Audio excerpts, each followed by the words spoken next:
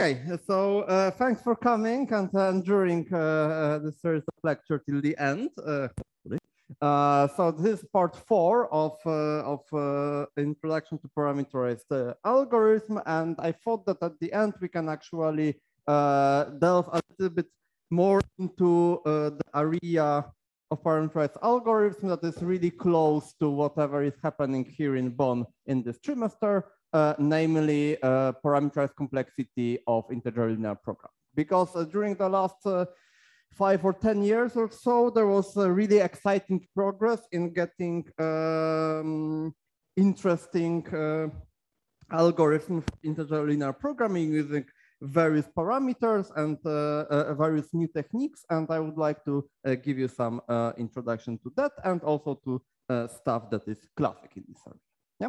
So integer linear programming, uh, I hope that you know what is this, uh, what, what is this. Uh, so we will be working with different uh, linear programs. the most basic formulation that you can that you can write is simply you've got some vector of variables x and you've got some matrix A and you've got constraints looking like that. Yeah, so you write that uh, that uh, if you apply this matrix, this vector of variables, you get some vector, and it is uh, pointwise smaller than than this. So this corresponds to linear constraints looking like that. Maybe a uh, one one, a one n, x n smaller or equal than b one, a uh, two one, x one plus and so on, a to n x n smaller or equal than bn and so on and so on. A m1 x1 plus and so on a mn xn. Right? So this is uh, written in the matrix form. This is written uh, to actually see what's going on. Yeah.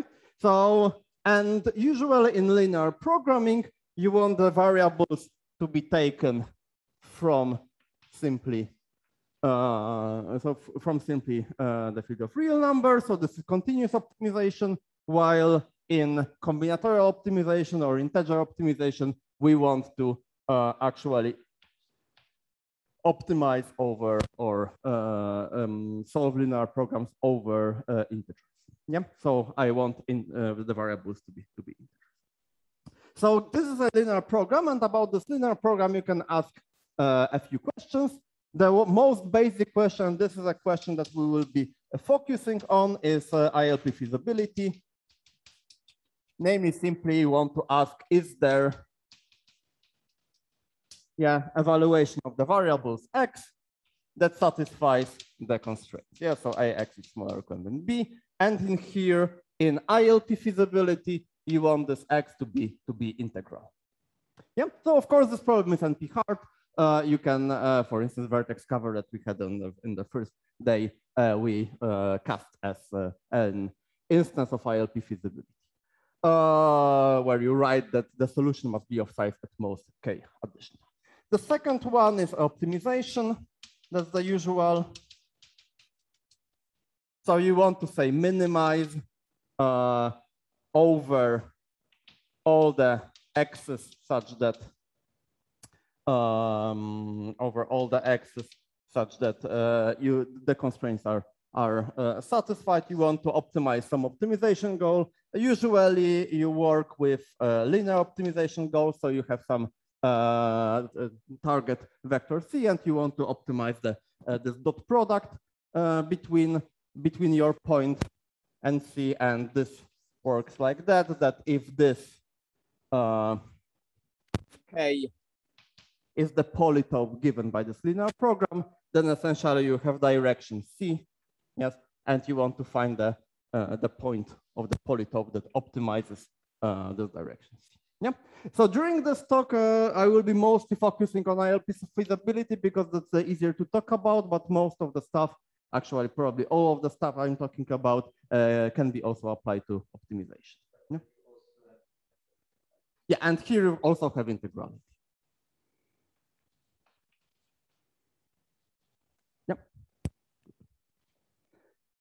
Right. So uh, given this, um, we can uh, start now to think about, okay, I've got this ILP feasibility. What kind of parameters I can think about in, uh, in this? And uh, because the problem has so many different you can think about different parameters and uh, try to understand the complexity in, uh, in those parameters. So the natural that the, the, the natural one we'll be thinking about is n, the number of variables. Yeah, so uh, FPT algorithm parameters by n would be an algorithm for a low dimensional uh, linear program uh, working in, uh, in, in only few dimensions. M, the number of constraints. Yeah, so an FPT algorithm parameterized by the number of constraints would be an uh, solver for instances where the number of variables must be very large, but the number of constraints is relatively small. Yes, and uh, another uh, parameter is say delta. This is the maximum uh, value of a coefficient uh, that is in the constraint matrix. Yes, this will also come into play uh, in, in several uh, places. However, these are the most basic uh, parameters you can think about. There are many, many more. Uh, I will talk about some at the very end of the talk. namely, you can look at this matrix A and try to somehow quantify its structure. In a sense, if the uh, linear program is somehow well structured, you can probably exploit this to get a better result. And this has been done, and this is where this uh, exciting new progress is happening. Good. Yes. I guess you want to mention that you, uh, the. Yeah, yeah. Uh, of course, I assume that the matrix is integral. So, so the matrix uh, in this, we assume that this is integral. And let's say that the optimization goal is also integral yeah, so all, all of the stuff is integral. Uh, thanks. Right.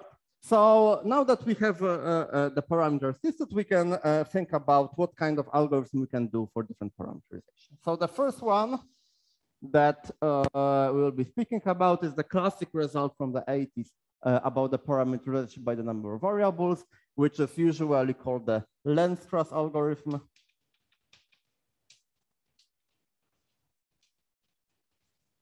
though I think the best running time of this algorithm to this date is due to uh, uh, due to I think Kannan. And the uh, running time of this algorithm uh, for solving ILP is uh, the best one is two to the order of n log n. Yes, or uh, in other words, n power order of n times polynomial in the total encoding size of the instance. Yeah, so this is bit size of the instance. Yep. So this is uh, an FPT algorithm for uh, integer linear programming in sort of fixed dimension, parameterized by the number of variables. Yeah. So this is a really powerful tool because it tells you that this kind of linear programs can be solved efficiently, assuming that the number of variables is small. Yes. And we will see later on uh, an application of this to a concrete combinatorial to the concrete combinatorial problem where uh, a concrete combinatorial problem will be reduced to uh, solving an ILP with a bounded number of variables. Good. Uh, so I don't, uh, I will definitely not give a full proof of, uh, of, of, this result of Lenstra. However, I wanted to uh, sort of uh, give a proof sketch because I think it's, uh, it's illuminating to understand what this algorithm really does. Because at the end of the day, it is just branching. Well, just branching. Uh, of course, you need to be very clever about this. And you, you need to understand a lot about the convex geometry of those polytopes that are associated with linear programs. Okay, so the proof sketch.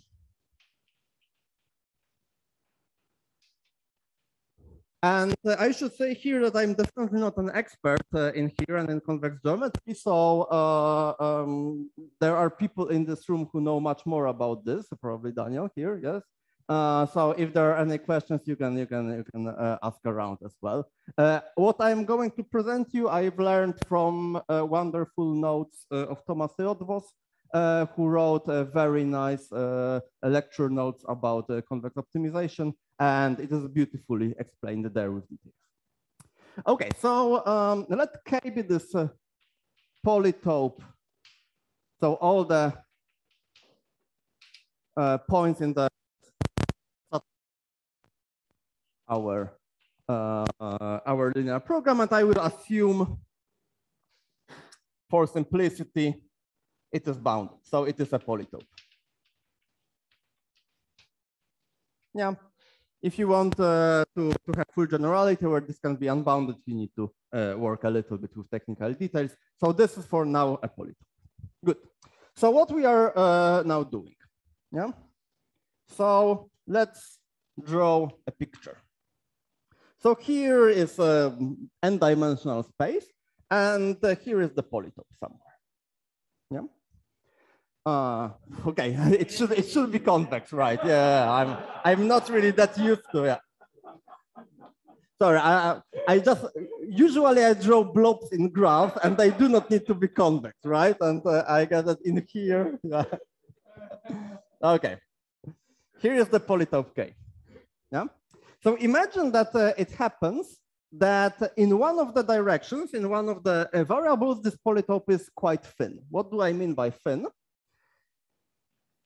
Say that this is a direction, say x1. And imagine that somebody told me that actually this whole polytope, k, fits uh, into all the points x for which the first coordinate is between some beta and alpha. So here is alpha, here is beta. So it fits into the strip, and this strip is pretty uh, is pretty uh, narrow, in the sense that beta minus alpha is bounded, let's say like that, by uh, these are integers.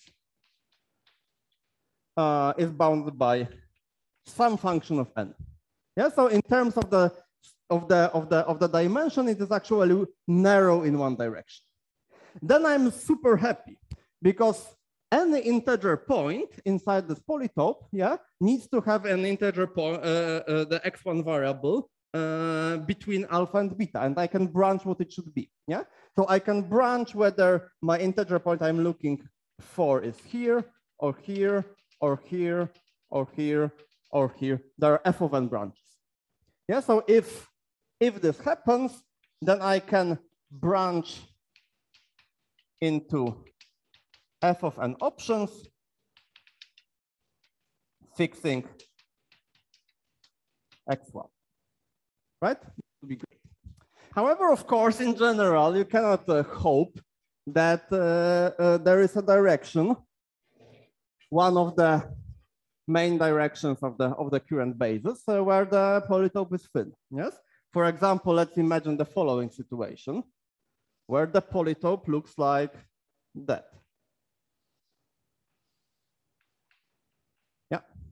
So it is uh, a sort of thin. It still misses all the integer points. For instance, the integer points are like that around this polytope, but still in both of those directions from the picture, it is, it is actually quite wide. Yeah. But still looking at this picture, this polytope is still thin in some direction. It's just not the one of the main directions. Yes. You can see that if I now draw uh, like in this direction, yes, the width of the polytope is, is, is thin. So let's try to exploit it. Uh, what would I do in this situation? I would probably look at the, say, integer vector v pointing this direction. Suppose that this direction is being, is being defined by some integer vector v, yes? And uh, um, what I can think, thinness in this direction intuitively means that if I look at the whole polytope and I look at the dot product with V. So the uh, uh, lines with, with the same dot product with V are perpendicular to V. I should see only few lines crossing crossing K. Yeah. So in this way, I would branch on which of those lines uh, is my uh, should be my point I'm looking for. Yeah. So to make this intuition formal, yes, suppose that K is inside a strip so this strip will look like that. The alpha beta. Inside the strip uh, of all the uh, points x, such that the scalar product with v is between alpha and beta. Yes, uh, for some integers alpha, beta. Alpha. Uh, so these are integers. Such that their difference is again small. Alpha minus beta is bounded by some function of f.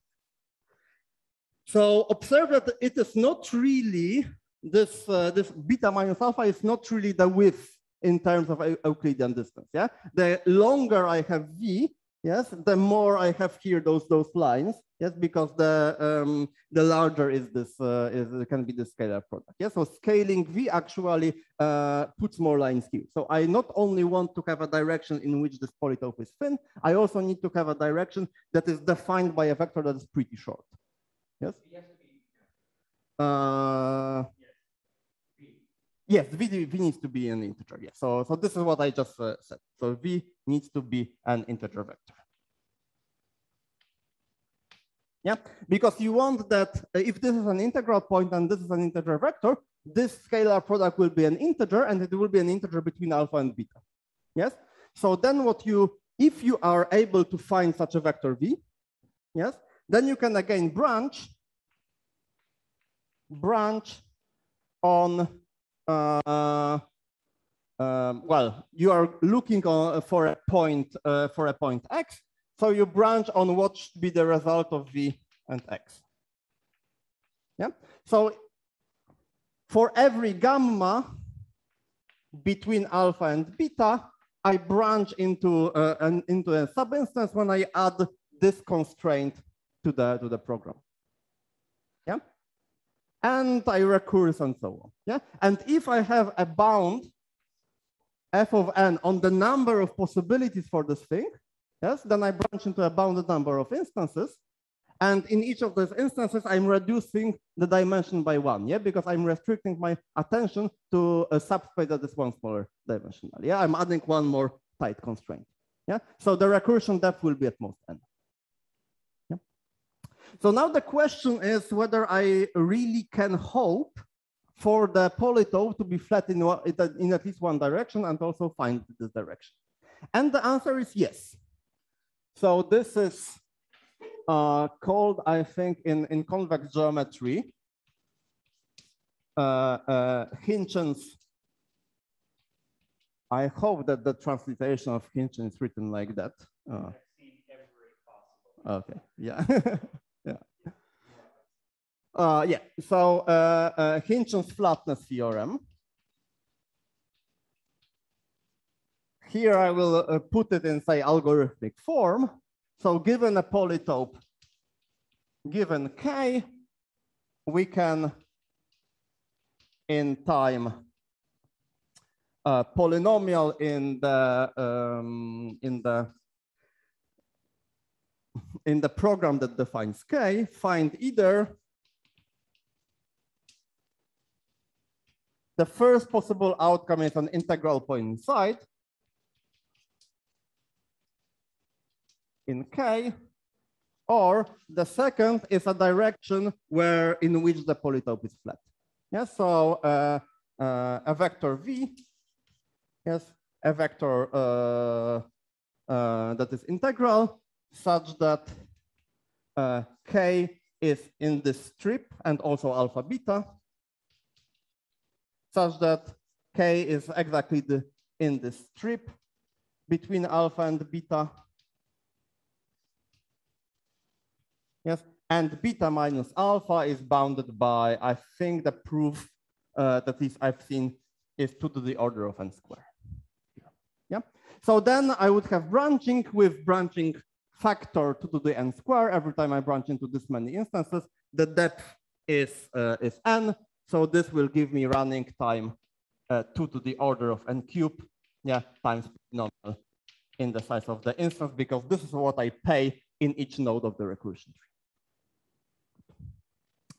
Great. So uh, this is Khinchin's flatness theorem. I will not prove it. This is a, a result from, uh, from convex geometry. Let me uh, just quickly highlight uh, how you actually do it. Yes. So there's a lot of details uh, uh, that needs to be done here. So the sketch is like that. So first of all, can assume that K is actually not just an arbitrary polytope, but K is an ellipsoid. Okay, it's um, an ellipsoid is not a polytope, but a convex body. But uh, this comes from, um, but, but this theorem is also uh, just true for convex bodies. Uh, so this comes from John's theorem.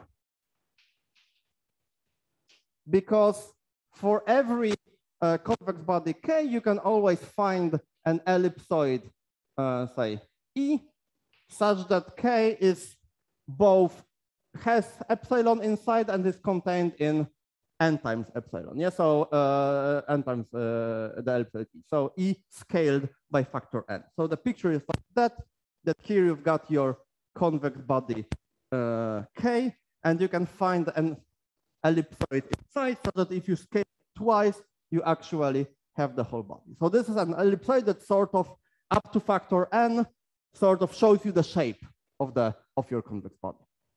Yeah. So this means that if I just try to find a flat direction for the ellipsoid A, yes, I lose only factor n when trying to approximate a flat direction for the body K. Yeah.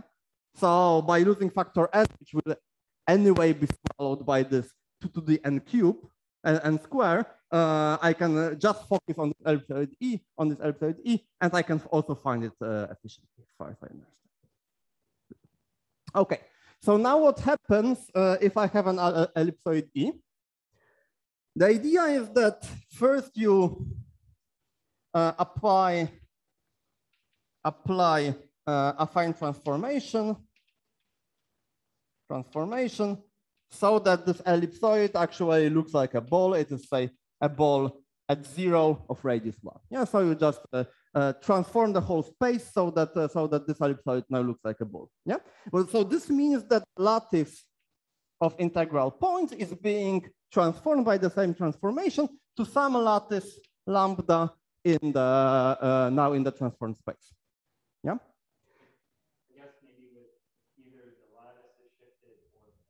Yeah, the, either the lattice shifts or the ball is shifted because this can be also not, uh, not, not in the middle. But this is some kind of maybe shifted lattice. So now the idea is that you look at this lattice lambda and you uh, try to understand this lattice. And what you do, you apply the LLL algorithm to get a reduced basis. So I'm not definitely not an expert in LLL, but from what I understand, the algorithm uh, looks at a uh, basis of a lattice and tries to find another basis, which is sort of as orthogonal as possible, greedy. And what uh, the argument is, is that if I find a as orthogonal as possible uh, um, basis of this lattice, then either all the uh, vectors of this basis are short, and then you can very easily find an integral point, or there is a long direction in this, in this basis, which before the transformation corresponds to a direction in which the, um, the ellipsoid is, is flat. So this is like a win-win depending on how long are the vectors in the lattice. Good, so this uh, sort ends the sketch of the proof, ends the sketch of the proof of Khinchin's flatness theorem, which gives you Lenstra's algorithm. I don't really know, uh, uh, as far as I understand from the literature, there are better uh, variants of flatness theorem where this bound is uh, actually quite close to linear, like n to 4 over 3, I've seen somewhere. Um, yeah. However, there are problems with computability of this. I don't really know how Kannan's uh, improvement works. I mean, so, so you can, you can, from a computational perspective, you can um, trade off the polynomial Mm -hmm. Ah, I see. Okay, so you can uh, here be like FPT in the in the in the in the uh, what's it called uh, in the dimension, and here get a better factor. Yeah. Okay. And that would also give you the same running time. Mm -hmm. But Kannan had to do something more complicated. Uh, he uh, proved his his result, he didn't have the best possible the best possible flatness theorems that exist yet. Okay, I see. No, I mean, I mean people have done stuff. I mean, I've also improved it. Oh. Very. So yes, this is a tinkering with the running time and with the proof. However, the important open problem is here, here is whether you can improve this dependence on n. Yeah, so whether you can get to this small of, of n log n FPT algorithm uh, times polynomial in n polynomial in. I guess many people tried. Uh, I tried also for like one week to try to prove a lower bound, and there are uh, so like because uh, I know the machinery for lower bound, so I just wanted to see what what what goes wrong, and there's definitely obstacles for a lower bound. So yeah, I don't know how what people believe in the community whether it should be lower or not. I think it should be lower. Okay. Yeah. Yes.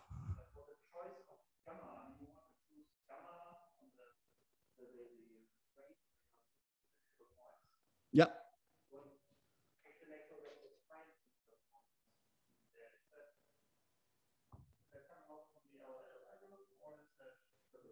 Mm, I don't really understand. So if you know that your whole body K is, is in this strip, this means that every integral point uh, inside that you that you could uh, and if uh, that you could find uh, has this, the dot product with v between alpha and beta. And between alpha and beta, there is only a bounded number of integer points, of, of, of, of integers. So you just guess what will be the scalar product of the point that you are looking for. Branch into possibilities.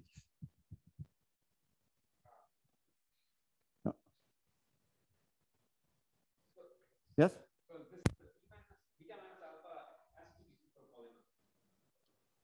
Uh, so as far as I understand, there are variants of Khinchin's uh, flatness where this is actually polynomial in it.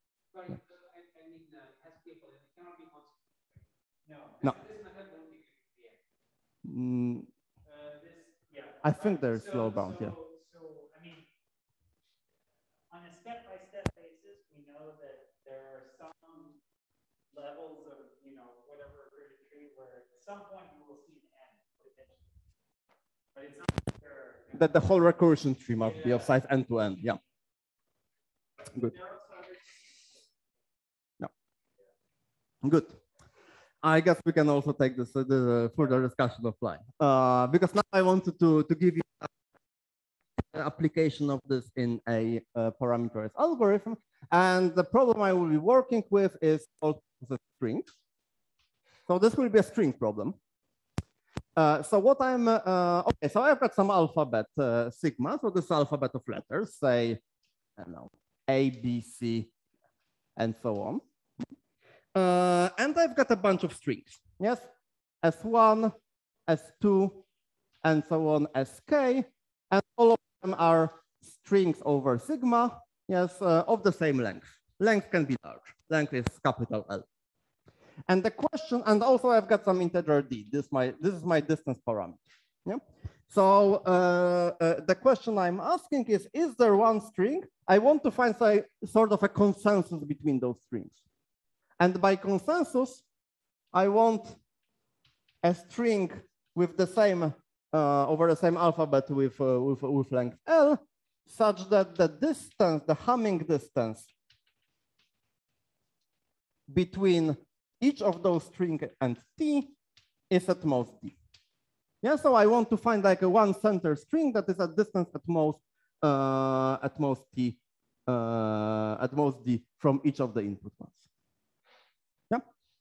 So that's a that's a problem, and uh, you see here a lot of different parameters: d, k, size of sigma. There's actually a very nice d power d branching algorithm. Now we will work with parameter uh, k. Yeah, so I want to parameterize by the number of strings and give you an FPT algorithm for this parameter only. Yeah? Good. So what's the idea? So imagine that, uh, yeah, maybe I can uh, also give you some example uh, to get a better grasp of this. If I have strings A, B, A, A, A, now A, B, B, C, A, B, C, B, A, B. Yeah, then what would be the consensus? It would be natural to have, say, put A here on this because like a majority is A, put B here because majority is B. Here, probably it would make sense to put B because here the two guys, uh, I would like, I am at Hamming, I am adding, contributing the Hamming distance from this one only by one. Here, probably A makes sense. Uh, and now observe that if I have put A here, yes, I would be at Hamming distance uh, three from this guy. Let me put B instead. Yeah, so now I'm penalizing only the first two. So then I am at distance, I hope, two from this one because these two positions differ. I am at distance uh, two again from this one because these two, po two positions differ. And from this one, I am also at distance two because of the first two positions. Yeah. So from each of them, I am at distance two. And uh, observe that in here, I have cho chosen not the majority option. And in here, even though that this position looks exactly the same as this one, I actually took a different choice. Yeah, so there are some intricacies, intricacies here. But this, uh, mm, this example already shows you sort of how this problem behaves because sort of every position, on every position, you make an independent choice. Yeah, what you put in this position in the in the uh, in the target string. Uh, so we will just code making those decisions as an ILP uh, whose uh, number of uh, variables will be bounded by k only.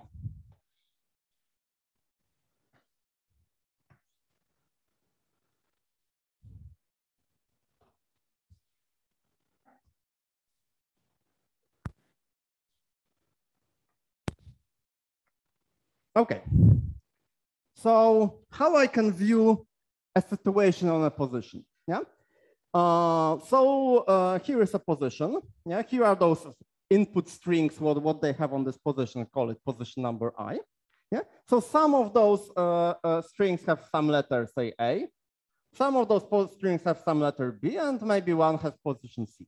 So now it only makes sense to choose one of those positions, one, one of those K letters that appear on this position. It doesn't make sense to put there a letter that's complete that's penalizing everybody.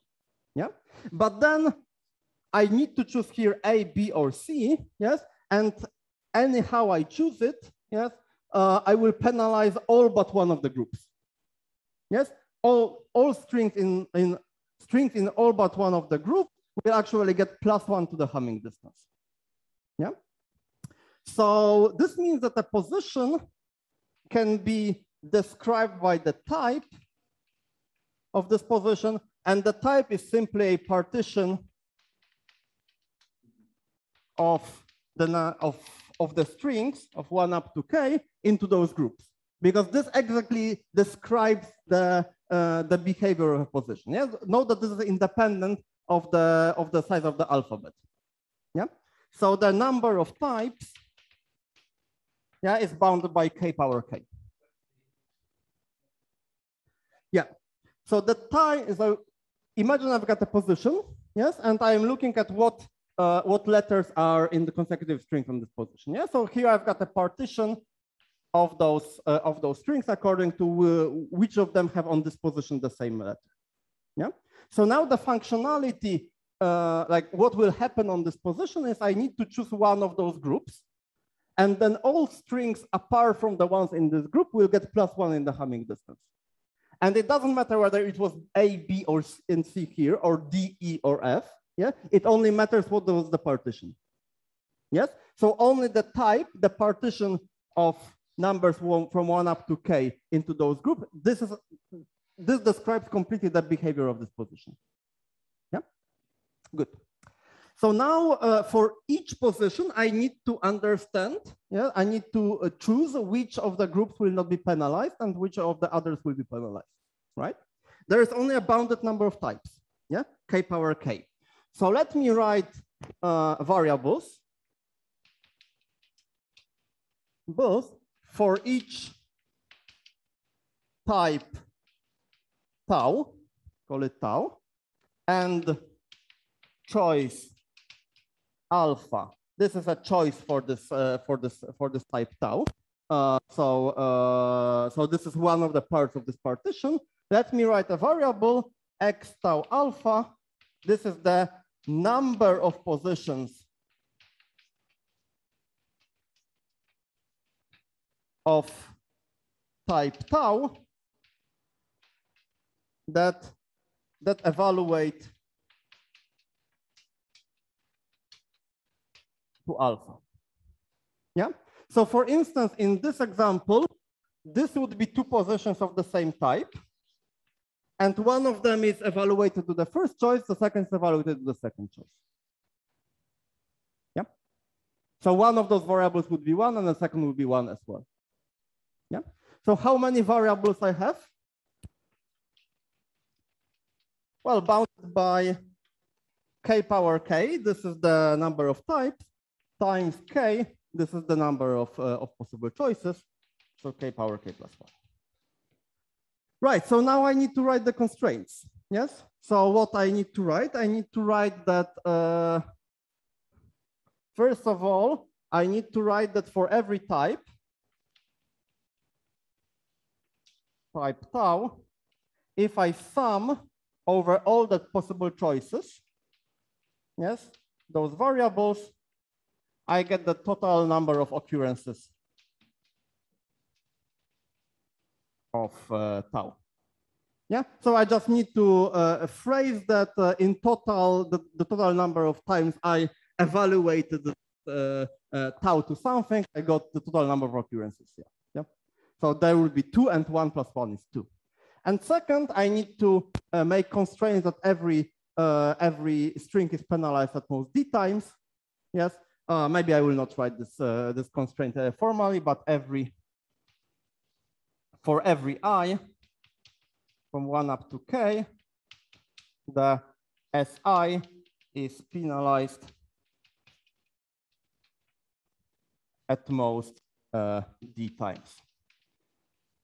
Yes, and this is uh, this is by summing those variables over the choices, the choices alpha, where alpha, where choo choosing tau to alpha penalizes string number i. Yeah. So this is a linear program that has many constraints because we're, we have one constraint for, yeah, well, okay. We have, uh,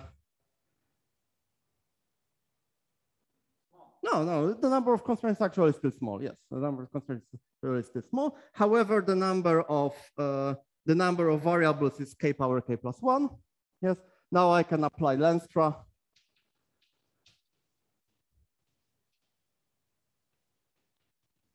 and solve in, uh, yeah, uh, this, there's a good comment here uh, about this number of constraints. Let me just finish this.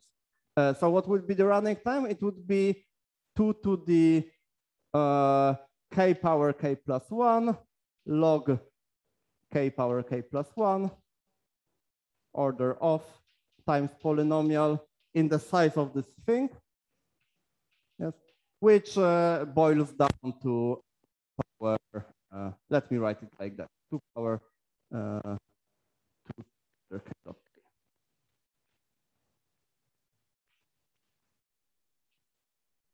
Yeah, I'm just uh, confused that indeed the, it seems that the number of constraints I wrote is small. Uh, and that's actually good. Sorry. So this actually this whole system uh, in, in size. It has uh, both k to k variables and roughly k power k uh, constraints. Because for every type, I've got a constraint. Ah. Yes, and for every i, I've got a constraint. Yeah. Yes. So yeah, I could uh, apply now an ILP solver for uh, the bounded number of uh, of variables, I could also uh, apply an LP solver for bound number of constraints, which is something that we do now. Uh, so we now understood the parameterized by the number of variables. We now can uh, move on to parameterization by the number of constraints. So let me say that this is just one example of, of this principle of writing your program uh, in a bounded number of variables. There is a lot of applications also in scheduling um, of this for getting, uh, say, approximation schemes. There, these are called so-called uh, configuration ILPs, where the say the weight or, uh, or running time, so that you've got a bounded number of different types, the jobs, and then the question is how many jobs of different types schedule on each machine, and then you can write it in ILP like that. Yeah, so this, this technique is called configuration uh, ILPs, and this is like a prime example also of, uh, of uh, how Lenstra can be. Yes. Uh, do non-negativity constraints count? Uh, that's a very good question. Indeed, because in here, ah, okay. Uh, so here I also have that for each tau and alpha, I've got non-negativity. Well, what do you mean by count? Uh, if I parameterize by the number of uh, uh, variables, this is my measure, yes? If I parameterize by the number of constraints, of course, I need to be super careful about whether I uh, count them or not. Yeah, so this is a very good uh, uh, point that when we are working with parameterized complexity of ILPs, we need to be actually careful about the phrasing of the, like the form of the program we work with. Usually we don't care about it because like you can, for example, go from equation form to inequality form by introducing slack variables, but then you introduce variables, yes? And also some constraints to say that, for example, they are non-negative. Do you count those constraints towards your uh, parameter or not? This really uh, affects the complexity. And we will see uh, an instance of this in a moment.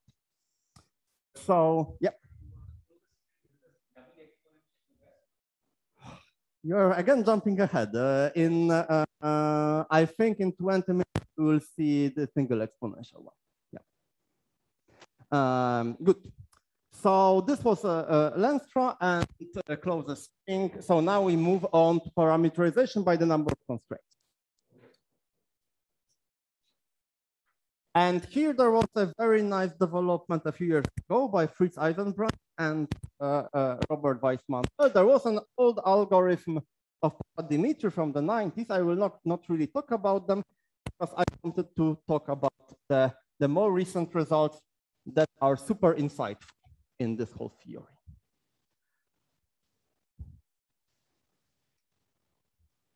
So first of all, observe that if I parameterize uh, my uh, ILP by just the number of constraints, and I do not assume anything more, then actually I run into a problem. Because I can encode subset sum as ILP feasibility with just one constraint.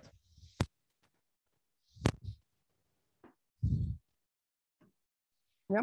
If I have an instance of subset sum, then essentially I have variables x1, x2, x3, and so on up to xn. Uh, n is now the number of variables. Uh, these are evaluated to 0, 1. Yes. And if I have on input numbers A1, A2, A3, and so on, dot, dot, AN, and target T, this is a formulation of subset sum uh, in, with an ILP with just one constraint. Yes, assuming, of course, this comes for, for free. Yeah, so you need to be careful about the parameterization here, but uh, you see that something is fishy here. Uh, if you do not assume more, so usually what we assume in the context of, uh, of uh, of uh, the number of uh, constraints is that we assume that the parameters are both the number of constraints and delta, the maximum coefficient, yeah, which allows you to solve this kind of ILP in polynomial time. good. so now the results that I want to speak about. So theorem number one is that if you've got a formulation like that,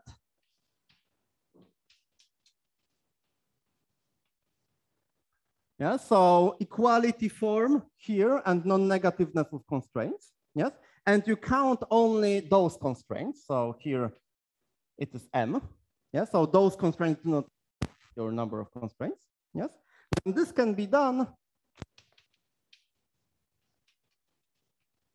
In, uh, pum, pum, delta m power order of m times polynomial in the input size and the maximum coefficient of B.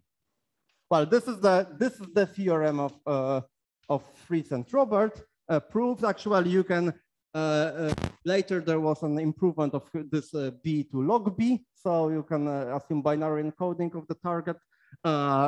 Now we actually also have strongly polynomial algorithms, yeah, that uh, do not care about this encoding at all, just measure the running time in the number of arithmetic operations. Yeah. I'm not sure about whether this running time in this case is still preserved, so I would need to check it. So the theorem two a more robust variant of this theorem is that if you have the same form, but you also have an upper bound on x. So note that here in this classic subset sum, yes, uh, I have an upper bound here. If I did not have, I just had non-negativity, I would have uh, like multiple, uh, I could take multiple copies of, uh, uh, of, of, a vector. Uh, sorry?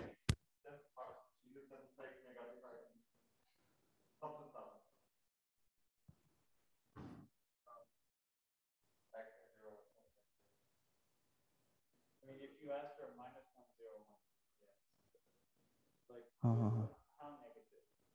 Like, I mean, you, you just want to have one constraint, so no, no constraint for three. okay. The only constraint to your uh, integrality and this, this one. One. I don't know. Let let's think about in the in the in the break.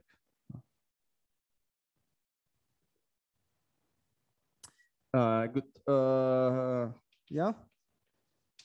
So you assume here that uh, that you have also upper bounds. Then this can be done in again that but now order of m square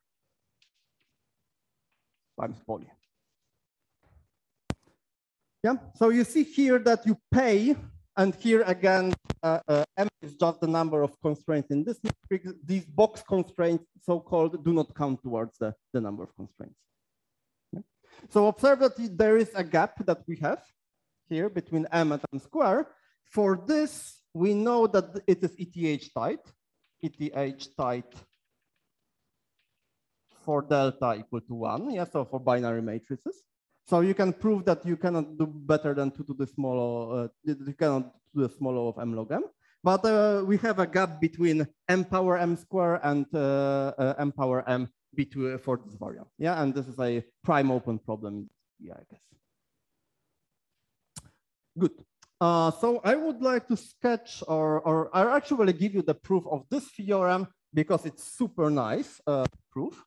Uh, I will later comment on how you use the same toolbox to prove this one. Good.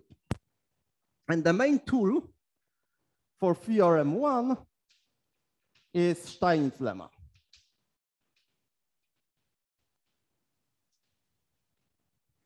So what is Steinitz lemma? This is a very nice uh, uh, uh, basic lemma in, in combinatorial geometry. So imagine that you've got the following situation. You've got, uh, say, uh, a space r power uh, r to the m uh, of vectors. and you've got some norm on the space. Yeah. And you've got a bunch of vectors, say v1, v2, vn. About all of them have small norm. So the norm of each vi is at most one. And moreover, they all sum up to zero. Yeah, so the picture is like that, that you start from zero and by adding consecutive VIs, you go around the plane somehow, yeah, you travel, but each of the consecutive steps that you do is short and you eventually reach zero again. Then the idea is that, uh, or then what Steinitz lemma says is that you can reorder those ones in order to always during this walk stay around zero. Yes, so then there is a permutation, say U1. So these are just these vectors permuted somehow, such that whenever you're looking at a partial sum from some i, say, to k of ui's, then the norm will be bounded always by the dimension, the dimension of the space. Yeah. So in other words, after the permutation, the situation like that. So this happens for every case. The situation looks like that, that you start from zero and you always stay close to zero. Yeah, so maybe if you start with this vector, then maybe you can use this vector in order to get closer and so on and so on. So this is a super nice statement. Steinitz proved it with some better, uh, with some worse constant uh, than m. Uh, I think m is tight as far as I remember the the dimension. Uh, Uh, I can, um, so N is tight for uh, very degenerate situations, but like for L2. aha, you can do it better. uh, No, no, like we don't, we expect there are norms where you can do much better, Mhm. but there is no norm at all for which we even can subtract one. Ah, okay. Uh, like we expect for L2, the answer should be root M, but we, we don't even know M minus one. So yeah, observe that this this lemma with m holds for any norm. I find it actually pretty uh, pretty uh, uh, uh, pretty amazing that this can be proved for any any norm that you can that you can think of. Yeah. Uh, so the proof is very nice. I really recommend. Uh, there is a nice paper by Sevastyanov uh, who outlines this proof. This is a really two-page paper. Uh, very short. There is a nice LP argument inside. Uh, there is a caveat. It's in Russian, but it's beautifully written. Yeah. Well, it, yeah, also it's a Fritz's paper. Yeah, yeah. Ah, yeah. Okay. So, so yes, there it is in English. um, good. So this is the Steinitz lemma is the tool that we would be using, yeah, for proving a theorem one. So let's try to understand what really is uh, uh, what really theorem uh, one uh, speaks about uh, in terms of subset sum. Uh, just to understand what is this uh, LP saying, yeah. So this LP is saying the following. So imagine that a one, a two, and are columns columns of A. Yeah. So then A times X. Yes, if X is a vector of variables, it's nothing else than column number one taken X1 times plus column number two taken two X2 times plus and so on, column number N taken Xn times, and this all should be equal to vector B. Yeah. So this is nothing else with uh, non-negativity constraints, then subset sum with multiplicities just on vectors. Yeah. In the in uh, in dimension one, this would be just subset sum with multiplicities. Yeah. So the question is, I'm starting with zero. Yes. I want to end at some vector b. I can use vectors a1, a2, an, each non-negative number of times. Yes. And I want to ask whether I can travel from zero by adding those vectors somehow and eventually reach B. That's the question that is, that is written here. Okay, so the idea is that now we can sort of use Steinitz lemma to try to re if there is a solution, to try to rearrange the solution to a solution that is somehow well structured. And therefore, we can find it uh, quicker.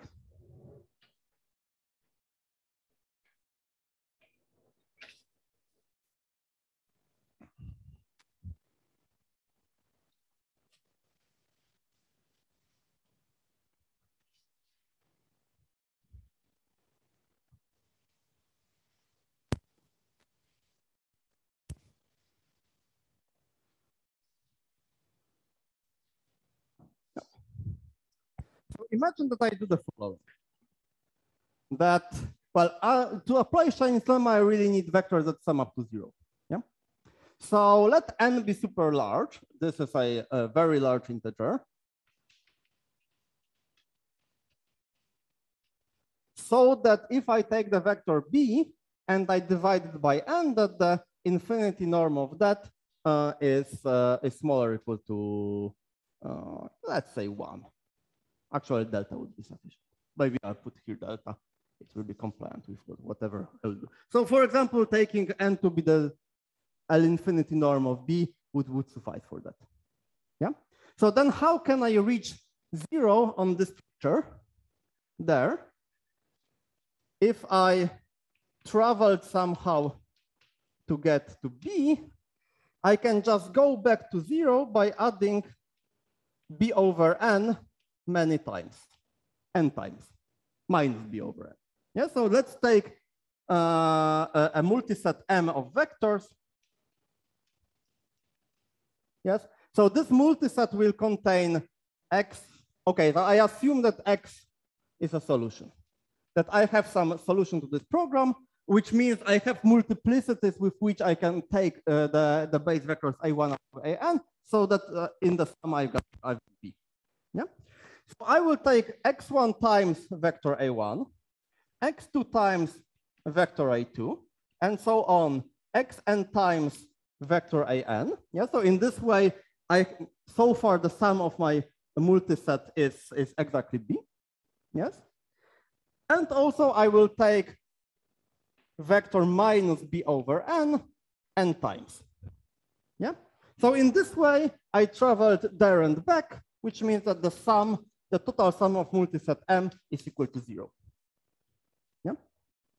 So now what I know, I know that all the AIs in their infinity norm, they are bounded by delta. Yeah, because, well, this was the maximum coefficient in the input. And I also know by my choice that the infinity norm of this vector is at most delta. So by Steinitz, and rescaling actually Steinitz by factor delta, I get that there exists, there is a permutation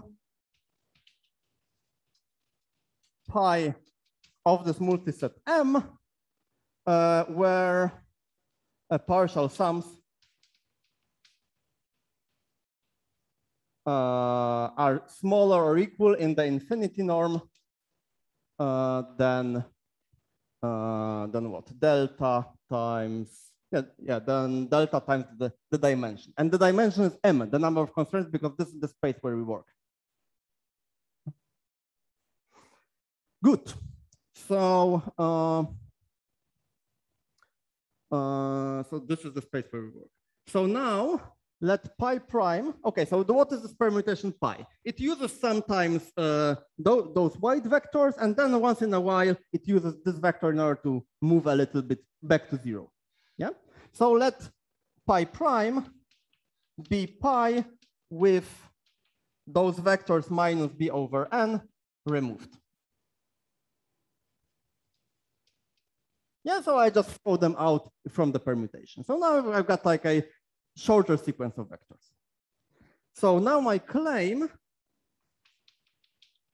is that every prefix, the sum of every prefix of pi prime is uh, at distance uh, infinity at most delta times m, uh, probably plus one, but whatever, from segment 0b. So what does it mean geometrically? This means that if I have here uh, 0, and here I have b, then I claim that if I draw here like a sausage of width delta times m. So this is the sausage consisting of all the points that are at L infinity distance at most delta m from, from this segment. Then I claim that there is always a, that, that there is a solution, there is a permutation that always travels within this sausage.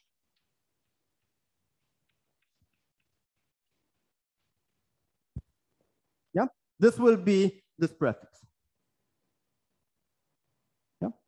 Because this is a sequence of choices of, of my base vectors. Yeah. So I saw, well, this is, this is actually trivial because, well, what is the sum of prefix of pi prime? So some prefix of pi prime. This is the sum of the same prefix of pi, yes, plus, plus some number of times there is this vector minus bn. Yeah. So this means that the sum uh, in, in, in, this prefix after uh, after the removal is just this, which norm is at most delta times m. Yes. And this is just a point. Well, it should be probably like that. And this is just a point somewhere here. Yep. Okay, so we are, this is perfect because this means that there exists a choice, a sequence of, of, of moves, yes, that I am allowed to do. Yes, those, uh, those choosing those base vectors a1 up to an that always fits within this, uh, within this sausage. Yeah, so another claim, and I hope that I can leave it sort of without the proof, is that the, if S are the points at distance at most delta m from this interval, from the segment from zero to b, so blue sausage here, then the total number of those points is at most, well, this whole thing has L infinity norm b, yes? So we can peg here points at distance one from each other, and there will be L infinity norm b of them, yes? And each of those, you can view this sausage as simply this rectangle, this, this square being moved like that. Yeah, so this will be bounded by the total number of those pegs I'm putting there times the volume of one ball, and the volume of one ball is 2 delta m plus 1 power m, the number of points there. Yeah. So now the finishing line is that I draw a graph G. This is a graph, a directed graph, graph on the vertex set S. So I'm putting all the points in here as the vertices of my graph. Yes. And the edges go from a set from a point Z. Yes, uh, these are uh, integral points, of course. Yep. Goes from Z to Z plus AI for every possible I. Yeah, so whenever I'm at some point Z here, I can use another vector from my base set to move to some other point. Yeah, so the out degree is equal to n. Yeah, so now what is the size of this graph? Well, the size of this graph is this times n. Yeah, I just constructed this graph. The only thing I need to do is to apply any reachability to get from here to here. So this is a super nice argument. Uh, and uh, this kind of Steinitz lemma, uh, since, since this paper, this kind of Steinitz lemma arguments are all over the place in this theory. So in particular, let me say a few words about how you prove uh, theorem two. Uh, how you prove theorem two is that you solve an LP relaxation of this problem.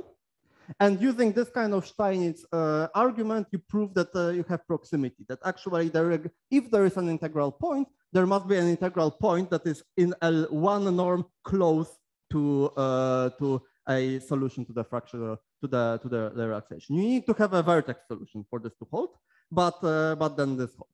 So you find the vertex solution of the LP relaxation, you know that there should be an integral point that is close and you can, you can find it using dynamic programming because the distance is bounded. Yeah. So, and since then there is a lot of uh, additional uh, work in this in these veins. Uh, so to uh, uh, answer a question that was asked here uh, about closest string, I can now give you very quickly how you can write closest string as an ILP with a small number of constraints, at least for binary alphabet. where can I put it? Maybe here. So the alphabet is zero, one. Yeah. So then for every for every uh, position, for every i, I have xi. This is whether I put a zero or one there. And then I put constraints for index j.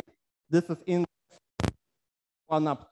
To yes can write now that uh, the, the string number j is penalized at most d types.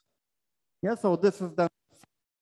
And I put here xi or 1 minus xi, depending whether uh, on, uh, on the particular position there is 0 or 1 in the string. And this sum must be at most d for every, for every j. Yeah. So this is now an ILP formulation of closest string on binary alphabet that has very many variables, but only k constraints. So now if I apply theorem two to this, I got uh, roughly k power k square. And this is the best I know for the closest string. Good. So uh, what I did not tell you about is uh, all this work about uh, ILPs, uh, multi-stage stochastic ILPs. This is a work that sprung from here. Roughly, it was also developed simultaneously by uh, uh, by, by, by, a different group, but uh, uh, this kind of tools can be also used to use structure of, of the matrix in order to get, get fast ILPs. Okay, I think this is enough for today. So thanks a lot, and thanks a lot for the whole uh, for being with me uh, uh, for the whole uh, uh, course. Yeah.